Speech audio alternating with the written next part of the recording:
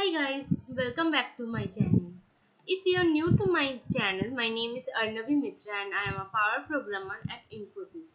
So I generally make videos on how to prepare for coding exams and how to crack the coding interviews and uh, in this video uh, as the uh, name suggests I will be answering all of your questions uh, regarding the power programmer assessment. So recently i have created one google form and i have asked you to put all your questions and i will be answering and i will uh, resolve all your doubts. So i got a lot of response there and i have selected the eight questions. Almost all the questions are uh, almost same. So i have selected the eight questions and i will be answering you and I will try. Uh, I hope it will uh, resolve all your doubts. So first uh, question I saw a lot of question regarding how can one apply for the Power Programmer assessment. So it has uh, many sections. So first of all, if you are a college student and you want to apply for it, uh, you can apply uh, two ways. Uh, one exam is Hack with Infy and another exam is InfyTQ by giving these two exams uh, you can uh, apply uh, for the uh, in interview process of uh, uh, infosys and based on your performance you will be called for the interview for either DSE role or the power programmer. So suppose your exam is very good and you have solved a lot of questions, then the chance is uh, higher that you will be called for power programmer assessment. Otherwise they will they can call you for DAC assessment. So this is for the college student. Now suppose you are already uh, interview as DAC role and then after completing one uh, year in the Infosys you will be given a chance to upgrade your role to power programmer uh, for a power programmer role. Like mm, uh, like i joined infosys as dse role and then after one year i got a chance to give the assessment and uh, then i am promoted to power programmer role. Now suppose you are a senior uh, sorry a, sen- a system engineer or senior system engineer and you want to change your role to power programmer assessment. For or you are an infosys employee. So for that you need to go through the bridge programming. So i didn't uh, went through bridge programming but i got a lot of questions from you regarding the bridge program. So i asked some of uh, people who went through the um, bridge programming. So every quarter uh, infosys um, schedules some uh, assessment for the power program this is every quarter. So you will be getting mails if you are eli- eligible and then you can go to the uh, uh, uh, an internal portal and there you can apply for this bridge program. So uh, you if you are eligible eligible then you will be getting mail and it's uh, like every quarter and there is no such cool down period or suppose uh, in the first half you, you are not able to clear the exam you can go and sit for the next quarter because the mails uh, they're sending they didn't mention anything about any cool down period or like how many chances are there. So in each quarter you have the option. So this is how you will be apply uh, you can be a power programmer and infosys also hire external candidates from uh, for who are um, like who has some experience. Like last year infosys uh, hired some of the uh, candidates as power programmer role who are external and not college student but they have some experience. So like this also uh, you can join infosys as a power programmer. You can stay in con- contact with the infosys employees and suppose infosys uh, again decide to uh, hire the uh, power programmer that time like uh, you can apply through them now the next question is how tough are the interviews for DSE role? Uh, because time is so less to prepare core subjects. Yeah, this I guess this is a question from a student. So uh, the interview process I will be explaining. So for example, uh, if you are a college student then and you have like uh, cleared the infytq or hack with infy uh, test then uh, this time uh, you need to uh, in the interview they can ask you coding questions. And things are almost similar mm, the way the questions were asked in the test. So i guess you are preparing for clearing the hack with infy or infytq test so same kind of they can ask one or two coding questions and other than they can ask uh, from core subjects as well. For example dbms object oriented programming uh, suppose you have the knowledge of c++ or java that is mentioned in your cv they can ask the questions from there. Now suppose you are an infosys employee and you are going through a power pro, bridge program or you are already a dac and you are um, going to upgrade your role in that case infosys earlier used to take interviews and they used to ask coding questions. But nowadays they are moving on to formal discussions round. For my case also i didn't went through any interview round. Uh, i went for a formal discussion round. And here they may ask you questions from your training. Like uh, they ask some uh, like when anyone join infosys we need to go through trainings they can ask you from your trainings. They can ask what uh, what technology we want. Uh, they can ask you from that. They can ask your questions from the current project you are in. So it's a more uh, formal discussion not an interview but a discussion. Like they uh, want to know what is our uh, interest. Based on that they can provide a, a good project or development project okay so next question is can you specify the topics we need to prepare for the interview? Uh, for this uh, i would suggest uh, i have already uh, created one uh, uh, video like my what is my what was my strategy to prepare for the interview.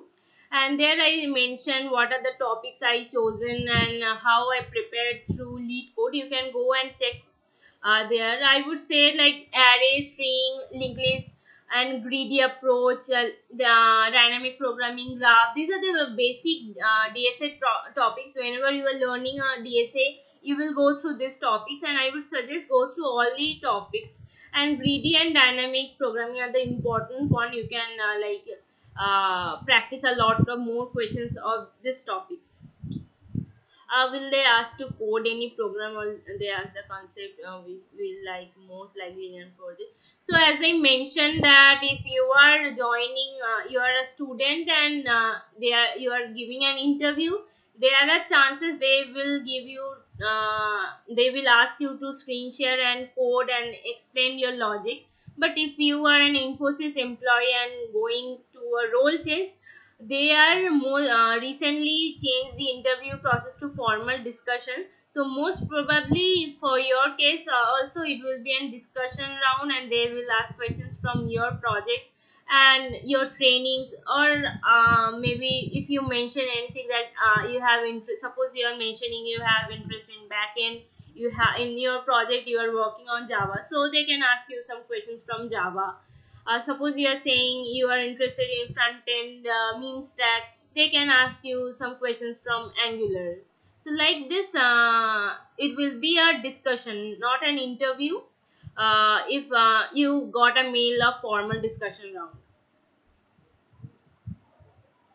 Okay so in the fifth question i can say i know only coding don't have any knowledge of if i clear the coding round interview will ask the full step so again uh, i'm saying that uh, for uh, as a student to become a power programmer if you haven't mentioned anything in your cv there is very less chance that they are going to ask you questions from front end or back end technologies. And if you are working in front end or back end then they can uh, ask you questions. But uh, they mostly focuses on interviews and some uh, object oriented questions or maybe some java c++ related questions dbms these are the important things. Uh, and after interviewing how many days we got qualified or rejected uh, what is further process of interview? So i also getting a lot of questions like how much time they are taking. So uh, generally they are uh, uh, doing this in every quarter. Like in every quarter they are uh, selecting some of the power programmers and one thing to notice that for every quarter they generally have two uh, slots for example when I gave the example uh, exam in the October, November, December quarter, there were two exam slots. One was in October and one was in November. So the one who gave the exam in the October, uh, they had to wait a lot for uh, getting the result because uh, they will complete two slots first and then they will publish the result. As I gave the exam on November, and it was like one to two weeks and i got the result first they will uh, send you one one to one mail that you are qualified and then they will give you uh, all the details now suppose you have given the test in the first lot so at the worst case you, you can you need to wait for uh, one month. But, but um, you can wait for one to one and a half month and then you will get to know all the uh, results. And uh, yeah they they also mail the rejection mail if you are not able to qualify and the further process of interview like they will explain if there will be one interview or a formal discussion and based on that you can uh, prepare. And how to prepare what are the subjects and topics uh, mostly asked uh, yeah so i have also prepared one uh, video that i said the top 10 codings you must prepare that was based on the uh, experience like uh, for my exam and uh, i asked many people who gave the exam and based on that i selected and i prepared uh, a video on top 10 codings and i would suggest you go and check those uh, not the exact coding but i suggest uh, see the topics uh, of that coding. Like i mentioned about sieve algorithm the graph uh, topological sort um, bfs based on that there are a lot of questions. So if you are able to solve that question i believe the you will get the knowledge how to solve them and based on that uh, you can solve any uh, questions which are related to them. So you can check out my that video uh, and you can go and uh, mm, learn those topics. And from there you will be understanding what are what type of question they mainly uh, ask. And in the interview also in the live coding problem they are a similar type of question they ask. And um, uh, the question pattern is like sing, um, one simple question one medium and one hard uh, there will be three questions and uh, I also got um, questions like uh, how many questions we need to solve. So I would suggest like if you are solving uh, at least two or more than two, then you can be sure that you are getting a interview or a formal discussion round call.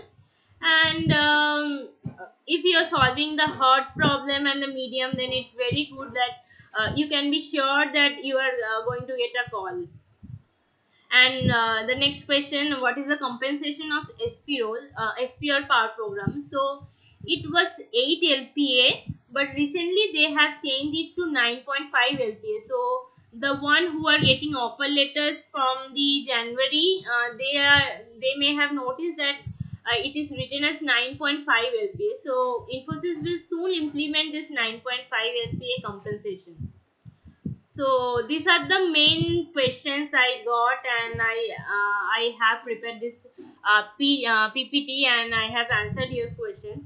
So if you have any uh, more question you can let me know in the comment section. I will try to uh, answer those questions as well and if you like my video please like share and subscribe to my channel. Thank you